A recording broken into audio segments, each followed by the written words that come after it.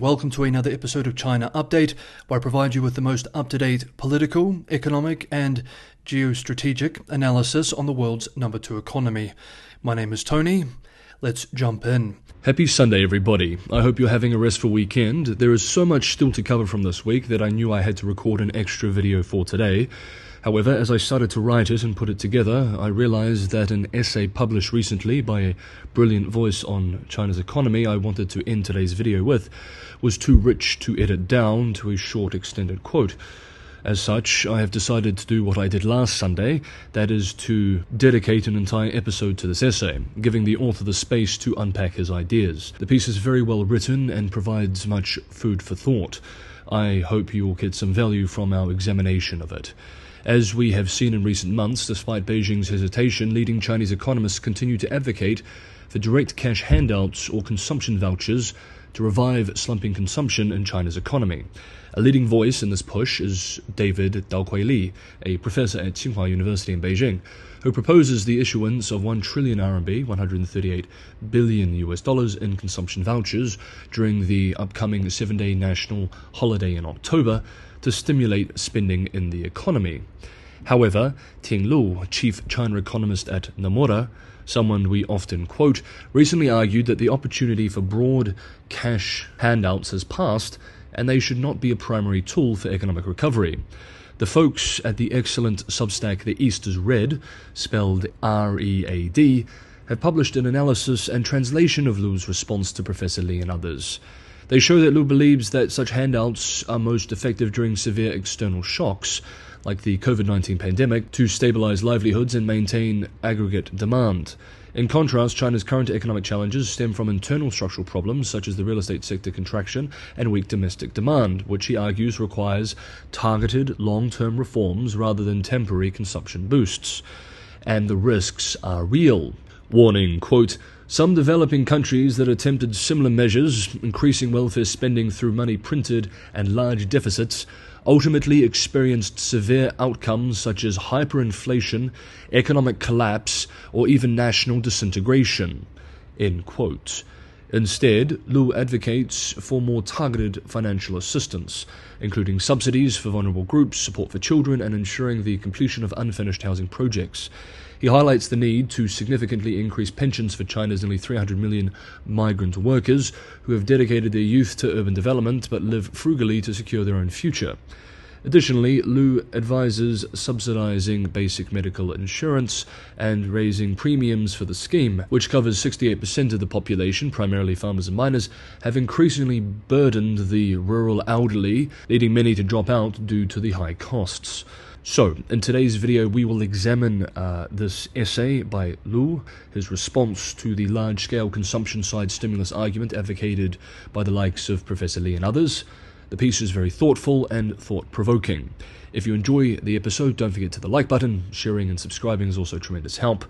Now, with that said, we now quote selected excerpts from the piece, which is in translation from the East is Read Substack outlet, with some minor edits from myself directly. Cash handouts should be approached with discretion. Regarding the current situation of the Chinese economy, two seemingly indisputable consensuses have emerged among economists interest rate cuts and direct cash handouts. Some scholars argue that significant and sustained interest rate cuts can solve all economic problems, while others firmly believe that distributing money or consumption vouchers to the entire population can stimulate consumption and boost domestic demand ultimately curing economic malaise and revitalizing the economy. First, let us explore the topic of direct cash handouts. The best opportunity for issuing cash or consumption vouchers to the Chinese population has passed, and it should not be considered a primary option for the central government. If cash handouts are to be implemented, they should target specific groups, primarily to encourage childbirth and provide basic social security and healthcare for vulnerable groups. Such subsidies can stimulate consumption, promote equity, and enhance future economic growth potential simultaneously. Addressing the soft budget constraints and excessive borrowing of local governments is indeed necessary. However, from a macroeconomic perspective, it is also critical to rigorously implement expansionary fiscal policies to stabilize economic growth. Currently, one of the most effective ways for government spending is to ensure that unfinished housing projects are completed and delivered. This would promote the clearing of the real estate market, rebuild developers' credibility, and restore confidence in government regulation, protecting the basic rights of home buyers while stimulating domestic demand. Whether cash handouts are effective depends on specific conditions and cannot be generalized. I believe distributing money to the entire population or all residents of a specific region is warranted only under one critical condition when the economy and society face severe external shocks. From both a humanitarian perspective and the need to maintain aggregate demand, it is responsible for governments to provide financial support to residents impacted by severe shocks. During the COVID 19 pandemic outbreak in 2020, I also advocated for indiscriminate cash subsidies for residents in Wuhan and certain areas of Hubei under lockdown. Between 2020 and 2022, Hong Kong issued direct cash handouts to adults and provided additional subsidies to employers for wage payments. In March 2020, the US implemented its largest ever stimulus package amounting to 2 trillion US dollars, which included 1,200 US dollar payments to individuals earning less than 75,000 US dollars annually and support for small business employees. In April of the same year, Japan announced a 100,000 yen, 684 US dollar cash payment to every resident, including non-Japanese residents regardless of income. These cash distributions played a crucial role in stabilizing employment and consumption, addressing livelihoods and contributing significantly to economic stability and recovery in the post pandemic period. Why are cash handouts effective in such exceptional circumstances? This is because these shocks are external, not inherently internal. They are generally temporary and long lasting. For the government, it is essentially to for the government, it is essential to quickly distribute money or necessities to residents in response to these external events to ensure basic livelihoods and maintain economic stability. This prevents a downward spiral in supply and demand, which could lead to secondary macroeconomic damage. The public is likely to understand that cash handouts are an exceptional measure in response to specific crises. They will expect the economy to return to normal once the shock has passed, and thus will not anticipate cash handouts becoming a norm. The government should focus on alleviating the immediate impact and maintaining stability rather than rushing to address inherent internal problems when facing such external shocks. Furthermore, from the perspective of stabilizing demand, cash distributions are more likely to be used in the immediate period. Without severe external shocks, a cautious approach to national cash handouts is essential for several reasons. First, if domestic demand is weak without external shocks, it is likely due to internal factors. While national cash handouts might stimulate consumption to some extent in the short term, they are unlikely to alleviate, let alone solve, the underlying issues that cause the economic slump. For example, the primary factor behind weak domestic demand currently is the significant contraction of the real estate sector over the past three years. With ongoing declines in housing prices, challenges in ensuring the delivery of housing projects, and tight local finances, Distributing a few thousand RMB to each person nationwide would have minimal impact on clearing the real estate market. Even if such handouts temporarily boost certain types of consumption, the deep seated issues in the economy will not disappear of their own accord as external shocks would. A halt in the handouts would lead to a fiscal cliff, where consumption and economic growth could plummet sharply, forcing the government to increase the scale of handouts continuously to prevent a second economic plunge. Cash handouts might delay the resolution of underlying issues. Some argue that as long as inflation is avoided, cash handouts should continue until the economy is on track. However, the real economic and societal operations are much more complex. Distributing cash is complex enough. Distributing it indiscriminately to everyone may reduce some administrative costs, but ensuring that it is delivered efficiently, transparently, and promptly to every citizen is more challenging. Not every citizen has a bank account, especially elderly people in rural areas. According to the 7th National Population Census of China, in 2020, 376 million people lived outside their household registration areas. Of these, 125 million lived outside their registered provinces, while 251 million lived in places other than their household registration but still in the same province. Distributing cash effectively to these groups without errors is a complex, systematic challenge that would consume significant administrative resources. This process could also lead to corruption and rent seeking, further draining societal resources. Cash handouts, especially in the form of consumption vouchers, could also enhance government monopolies. Continued national cash distributions would significantly increase government spending and deficits, enlarging the scale of the government and potentially leading to a further advance of the state, retreat of the private sector. Even if local governments manage to distribute cash efficiently and transparently, they may have strong incentives to confine the use of funds, especially consumption vouchers, to their own regions and keep the goodies within the family. This could undermine the development of a united national market and even lead to some regression in marketization. Local governments might also steer the use of funds or vouchers toward local platforms and businesses as much as they can, thus crowding out private enterprises. Lastly, the inflation risk associated with national cash handouts cannot be ignored. In periods of low inflation or even deflation, continuous cash distributions may not immediately lead to inflation.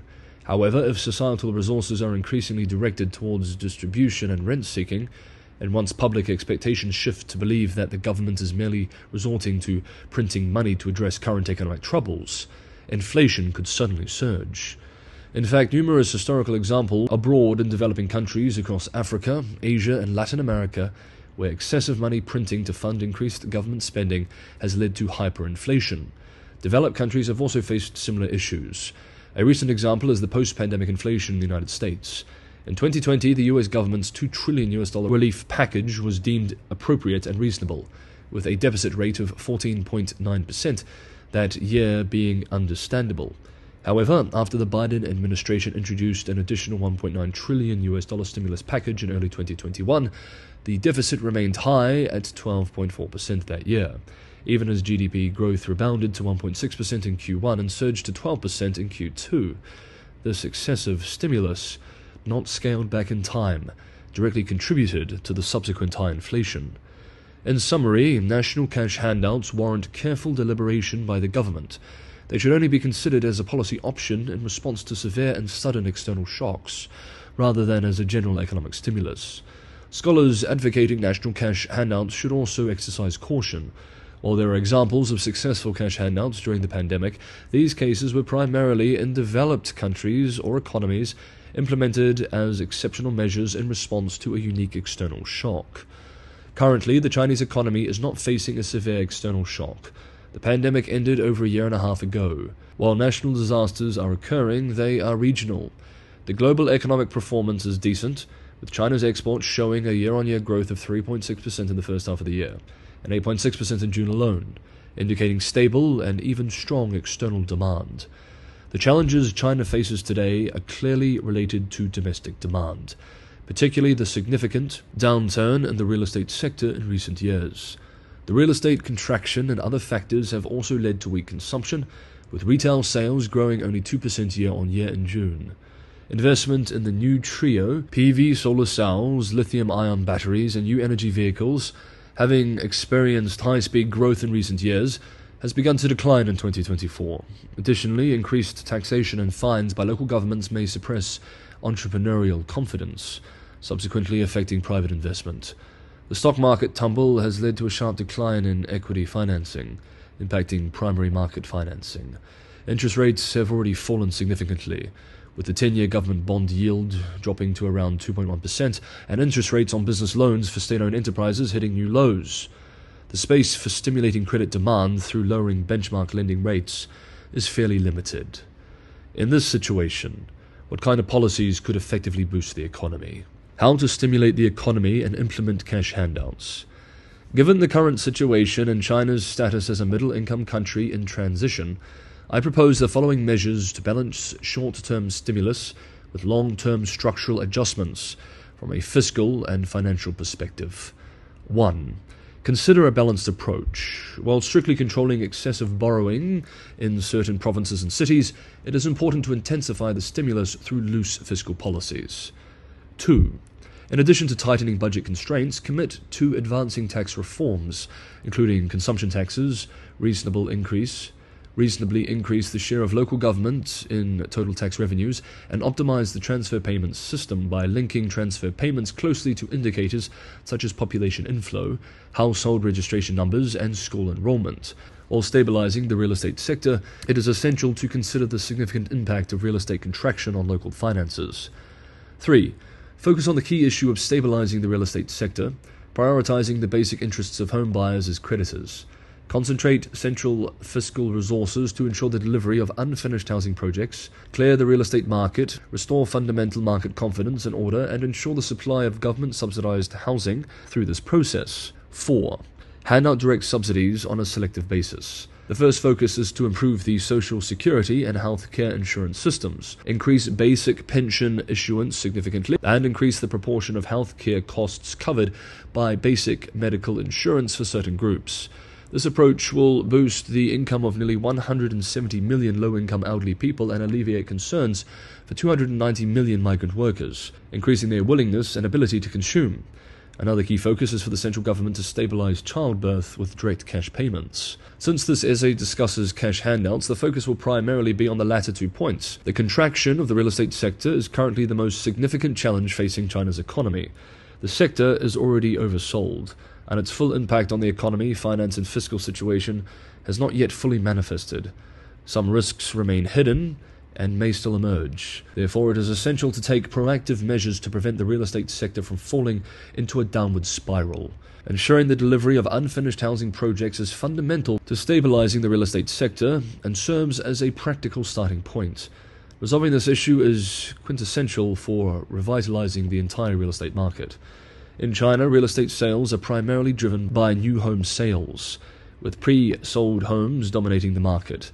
These pre sold houses function as a futures market, where delivery is essential for normal operations. Effectively addressing the delivery of unfinished housing projects is critical for rebuilding market confidence and government credibility, and it is a prerequisite for stabilizing and expanding domestic demand. Developers are also struggling to raise funds to ensure the delivery of housing projects on their own. Therefore, the central government should directly provide special funds for ensuring the delivery of unfinished housing projects and established dedicated agencies to promote related efforts. According to a conservative estimate from last year, the funding gap for ensuring housing delivery is approximately 3 trillion RMB, 418 billion US dollars. The optimal time window for national cash handouts has passed but providing targeted financial assistance to specific groups remains necessary, which should be understood as policy adjustments and structural reforms. 1. Increase basic pension issuance for vulnerable populations. China's pension system comprises three tiers. According to data from 2022, the top tier consists of retirees from government and public institutions, totaling 21.13 million with an average monthly pension of 7,320 RMB, approximately 1,000 US dollars. The middle tier includes enterprise employees, with 115.31 million retirees receiving an average monthly pension of 3,778 RMB, approximately 500 US dollars. At the base are people categorized as residents, primarily farmers, with 164.64 million recipients, far more than the total of the previous two tiers, receiving an average monthly pension of only 246 RMB, 34 US dollars. Notably, in this year's two sessions, the State Council increased the pension for this group by 20 RMB, $2.79 per month. Rural elderly also have some income from land, but it is minimal. Nearly 300 million migrant workers in China must live frugally and are hesitant to spend to ensure financial security for their future elderly lives. Therefore, to encourage consumption among more than half of the population, the most efficient and equitable approach is to significantly increase pensions for this group. 2. Subsidize basic medical insurance for vulnerable groups. China's medical insurance system is divided into employee and resident categories. In 2023, 962.93 million people participated in the basic medical insurance scheme for residents, which offers significantly fewer benefits than the employee scheme, accounting for 68% of the 1.4 billion population. Including the vast majority of farmers and minors. It is estimated that if the central government were to exempt residents under the age of 20 and over the age of 60 from medical insurance contributions, it would result in an annual additional spending of approximately 230 billion RMB, 32 billion US dollars. 3. Provide cash subsidies to encourage childbirth. In 2022, China's population decreased for the first time in 60 years by 850,000 people which expanded to 2.08 million in 2023. The number of newborns has sharply declined since 2018, reaching only 9.02 million in 2023, a 45% drop compared to the annual average of 16.36 million from 2003 to 2017, and a 9.4% average decline since 2018. Currently, China's total fertility rate may have fallen to 1, well below the 2.1 needed to maintain population replacement. The decline in the total population and the proportion of young people is a significant factor inhibiting domestic demand. From a supply side perspective, it also reduces the overall vitality of Chinese society and suppresses the potential growth rate of the Chinese economy.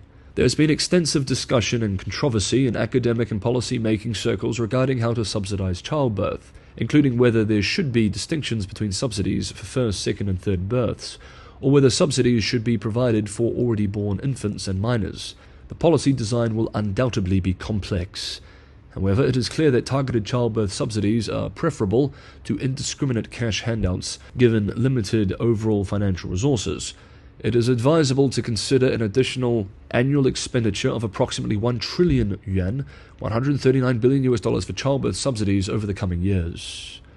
Conclusion in summary, over the next two years, if the Chinese central government allocates 1.5 trillion RMB, 209 billion US dollars annually, for ensuring housing delivery, totaling 3 trillion RMB or 418 billion US dollars, 600 billion RMB, 84 billion US dollars annually for resident pension subsidies, 230 billion RMB, 32 billion US dollars annually for resident medical insurance subsidies, and 1 trillion RMB, 139 billion US dollars annually for childbirth subsidies, the total additional government spending would amount to 3.33 trillion RMB, 464 billion US dollars, approximately 2.5% of GDP. After two years, once the unfinished housing projects are completed and economic growth stabilizes, this expenditure will cease. By then, the annual resident pension subsidies, would have increased to 1.2 trillion RMB, 167 billion US dollars. Medical insurance subsidies would have risen to 400 billion RMB, 56 billion US dollars, and childbirth subsidies would have been elevated to 1.4 trillion RMB, 195 billion US dollars totaling 3 trillion RMB, 418 billion US dollars. Considering GDP growth, these three types of subsidies would represent about 2% of GDP. This targeted approach to direct subsidies can effectively stimulate current domestic demand clear the market, stabilize demand, promote fairness, and enhance future economic growth potential. Here ends the direct quote of today's piece and today's episode of China Update. It was a little bit different uh, than usual. Uh, I've been losing my voice the last few days. My apologies uh, if it was distracting. Hopefully, uh, my voice will be on the mend in the next few days. Please let me know in the comments below what you thought of today's video, what you thought of uh, these views unpacked by Lu Ting. Would you agree, disagree, and what your own feedback uh, would be? That is today's special episode of China Update over. If you enjoyed it, don't forget to like, subscribe, share, all that good stuff. It's a tremendous help. I hope you enjoy uh, the rest of your weekend. Have a restful Sunday, and I will see you back for regular episodes of China Update tomorrow on Monday.